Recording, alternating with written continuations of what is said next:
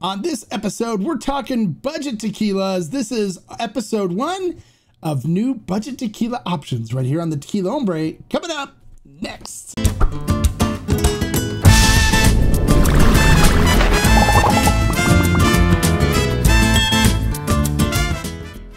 Hello, and welcome to our first episode in a brand new series that we're just now launching called Budget Tequila Options, where we'll discuss different tequila brands that can help you save some money while enjoying really good sipping and mixing tequilas. This will be the first of uh, many different episodes to be launched here on the channel. If you're new to the channel and don't want to miss them, make sure you click the subscribe button right there and the notification bell next to it so you get notified not only when we post videos of the new budget option videos, but as well as some of the other reviews and informational videos that we post constantly here on the Tequila Hombre channel. All right, so let's not waste any more time. Let's get into our first budget option. Our first budget option I'd like to uh, let you know about today is comes from Casa San Matias. It is one of my favorite extra añejo budget options for those of you that like añejos and extra añejos. And for those of you that enjoy Clase Azul or uh, Don Julio 1942, this is a great option at a fraction of the cost. This is the San Matias Gran Reserva Extra Añejo. Comes in a black bottle like so. Typically runs for between 45 to $55. It's a fantastic Extra Añejo with a really great flavor profile. So we're going to go ahead and pour a little bit and tell you about this right now. Now, the San Matias uh, Reserva Extra Añejo was actually the first Extra Añejo to ever hit the market. San Matias was the first to make an extra añejo. This is aged 36 months in French oak barrels, brand new French oak barrels that are custom made for this particular extra añejo.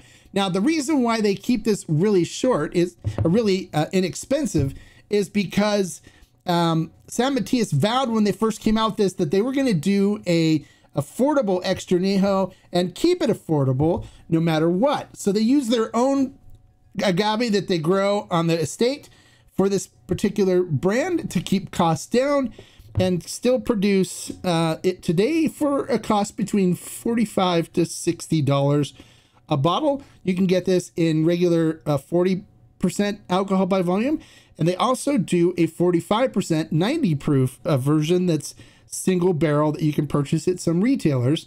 Uh, the tequila barrel and agave collective will have two barrels coming in soon um, so let's take a look at this tequila in the glass. It coats the glass beautifully. Look at the legs and tears on that. Absolutely amazing. This is pure French oh goodness. So we're going to enjoy nosing this. But look at that. So it's going to have a nice viscous mouthfeel to it. Um, on the nose.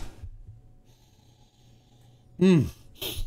Beautiful cooked agave coming through. Now, one of the things Rocio, who's the blender for Casa San Matias, as well as now the master distiller, um, she does a great job of ensuring that the agave comes through on the front of it. She's like really well known for doing that. And if you've tried some of the other uh, añejos and aged expressions that come out of Casa San Matias, you'll notice that it's pretty consistent across all of their lines. This one, it is still very agave forward, you get that beautiful cinnamon and baking spices. It's uh, more floral on the nose. You get vanilla and caramel and uh, like almost like a sweet cherry in there as well, as well as um, butterscotch. It smells fantastic. This is a treat. I always love this uh, as an affordable extra añejo option. So let's see what we get on the flavor profile.